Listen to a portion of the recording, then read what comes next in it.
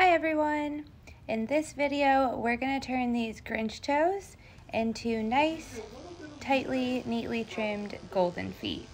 So first, when I am doing a trim up like this on a golden or a lot of other breeds, so really any double coated breed that gets a foot trim and like a feather trim, this is approximately how I would do it. Um, so I start by using my clippers with a 30 blade attached. This is the Andis Pulse ZR clippers with an Andis 30 blade attached. And I'm just gonna gently take it in between all of the paw pads, clearing out all of that crazy fluffy hair. You do wanna be careful while doing this. The 30 blade is sharp and the webbing between the paws is definitely delicate.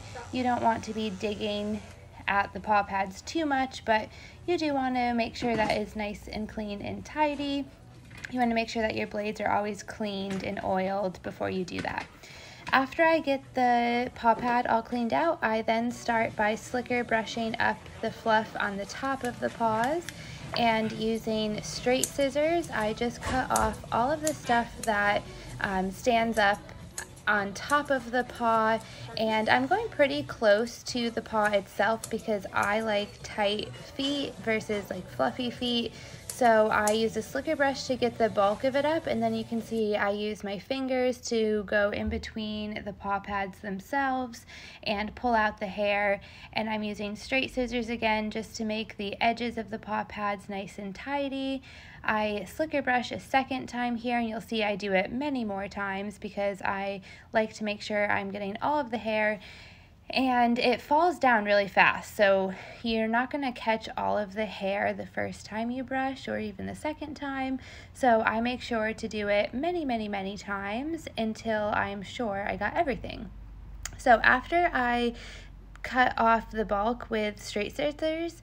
Now I'm going back in with blending scissors or thinning scissors to just make the paw pad look very nice and a polished look. So the straight scissors might leave some scissor marks and um, it just looks a little more harsh if you only use straight scissors so you want to go back in with blending scissors to just make that paw pad look as pretty as possible.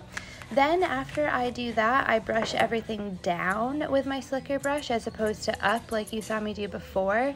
And I go back with straight scissors and just tidy up basically the edges. So right around the actual nail beds and the outsides of the paw pads, just to make sure, again, I'm not missing anything because it takes several times to make sure you got everything.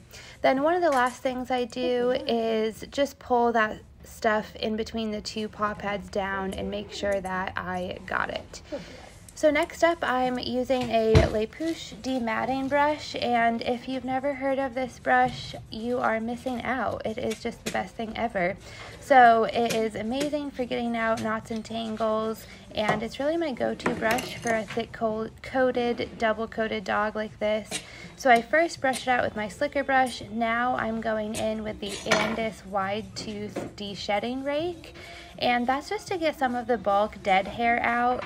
And if you were doing a show dog or a dog that you wanted to be like super fluffy, you might not use this rake um, because it does strip some coat out and it mainly only strips dead coat out, but it, you know, it does strip coat out. So if you're looking for a super, super full fluffy look, you might not want to do this.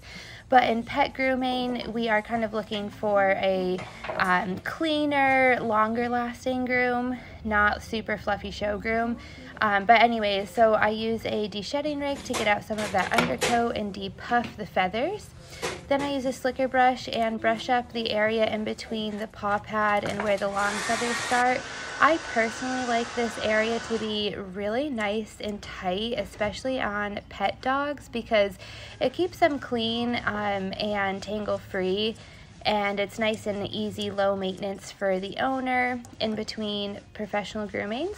And then I hold the paw straight out, or I should say hold the leg straight out comb the feathers and just do a little trim kind of angled at the bottom. You can see the majority of the feathering. I actually don't clip or scissor at all. I leave it kind of lay natural and flat because this particular dog, his owner likes a nice natural look. And then I just use thinning cinders scissors to blend up the bottom and here you can see the before on this side this is what the leg would look like before you trim it and then the perfectly neat and tidy after on this side I love this guy. He just has the best feet and such a good boy for grooming. And again, this is how I would do a golden foot and feather trim, but also any similar breed like Australian Shepherds, Great Pyrenees, Bernese Mountain Dogs. Um, the list could really go on and on. But I hope you enjoyed the video and like and subscribe if you want to see more. Thanks so much. Bye.